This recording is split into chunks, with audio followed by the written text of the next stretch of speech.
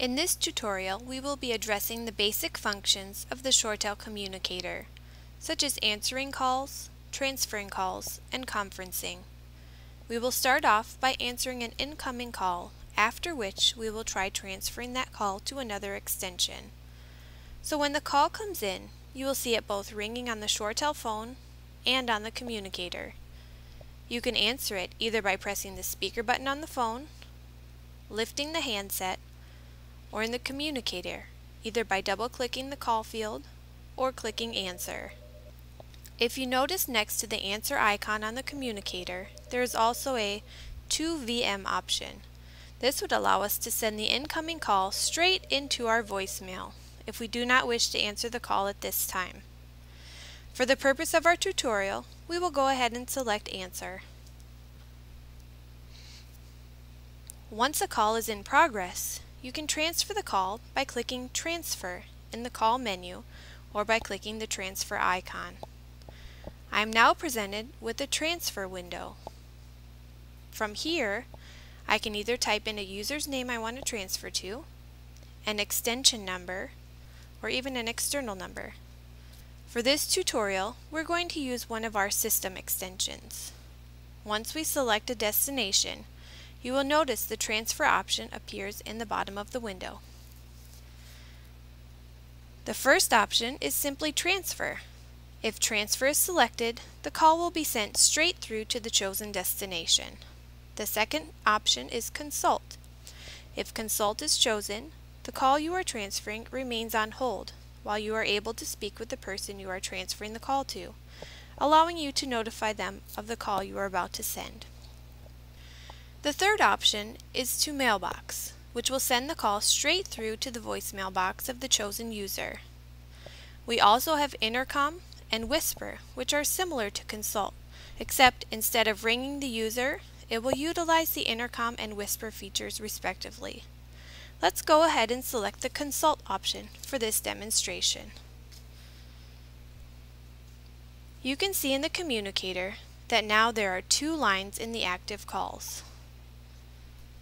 The first is our original call that we are trying to transfer, and the second is the destination party that we are now speaking with. You will also see the same things presented on the phone. The original call is flashing as it is on hold, and the call we are speaking with is a solid light next to it. So now that we have announced ourselves and notified the person of the call we are sending, we can click the transfer option and the call is then released from our phone and sent through to the selected destination.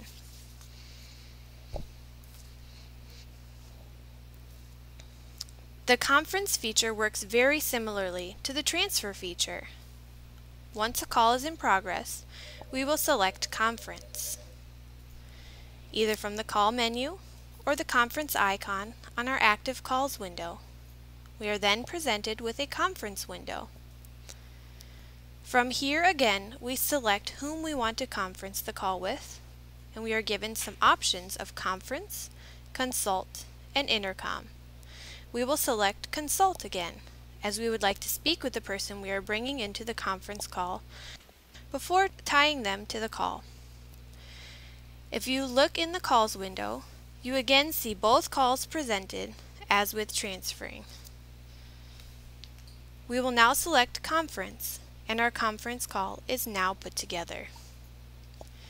If you notice now that our conference is in progress, our active calls window is slightly different in that the first line shows the conference call and below it can see each party connected to the conference. Next to each of the connected parties, you will notice a hang-up icon.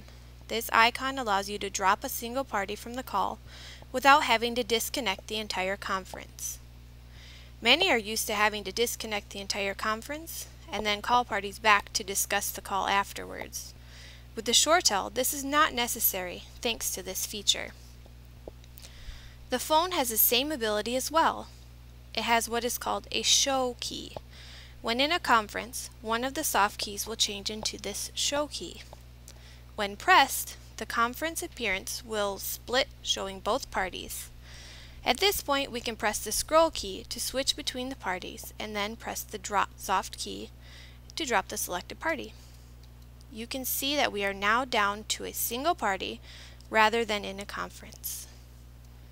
This concludes Lesson 2 of our ShoreTel tutorials.